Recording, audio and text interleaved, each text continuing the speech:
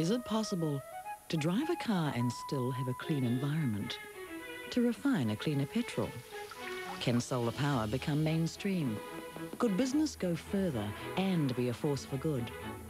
Can 100,000 people in 100 countries come together to build a new brand of progress for the world? We think so. And now, BP, Amoco, Arco and Castrol get together to try.